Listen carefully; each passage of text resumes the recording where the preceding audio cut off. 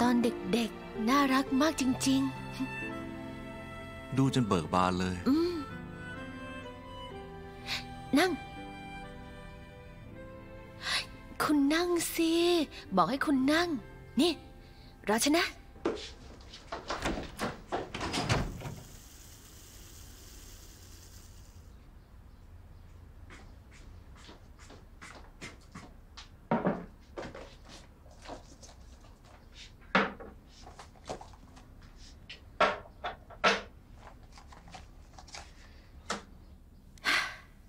คืนนี้ฉันต้องกลับไปประชุมที่เมืองเปยต้องเป็นพรุ่งนี้เราถึงจะได้เจอกันที่ฐาน เพื่อฉลองที่พรุ่งนี้พวกเราจะเข้าฐานการฝึกอบรม วันนี้ฉันจะจัดระเบียบคุณให้เรียบร้อย จัดระเบียบเหรอ ผมมีอะไรที่ยังไม่ถูกใจอีกเหรอ อืม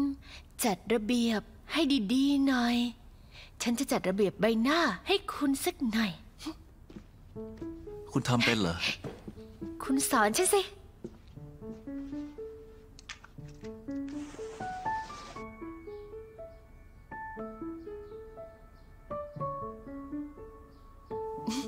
แบบนี้ไหม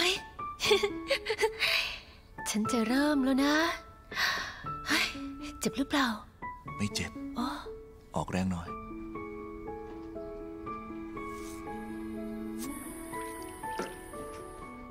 ยินดีด้วยที่คุณฝ่าห้าด่านสังหารหกขุนพล ได้สิทธิ์การแข่งทั้งหมด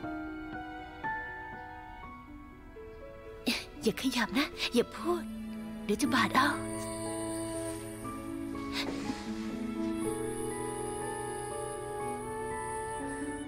รุ่งนี้ก็จะเข้าฐานฝึกอบรมแล้ว คุณก็เป็นหัวหน้าของฉัน วันนี้คุณเชื่อฟังฉัน ในทีมฉันเชื่อฟังคุณ